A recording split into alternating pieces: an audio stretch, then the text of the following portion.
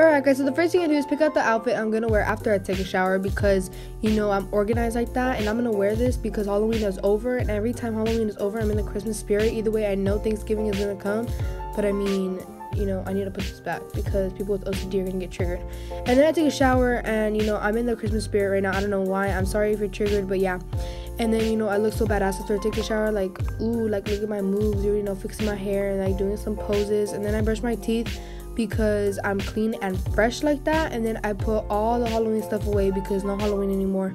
And then I hang out with Brownie because he's cool and I like to hang out with cool people, you know?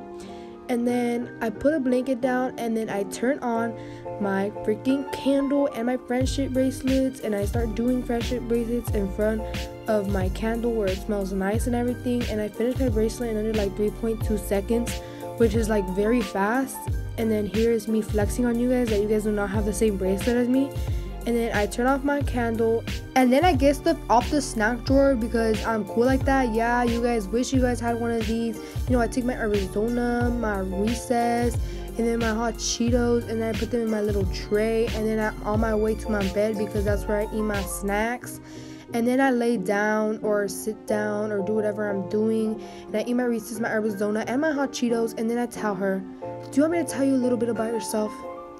Okay. Okay, so let me start off by saying you're nice, you're pretty, you're not annoying, but sometimes you could be annoying because like um I meant you're not annoying, but um I meant you're not annoying, that's what I meant. Yeah.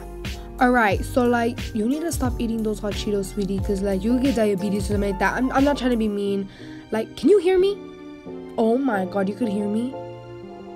Oh, you can hear me. Oh my god. Oh my god, that's so scary. Okay, um, you're really pretty, but like sometimes you could be ugly.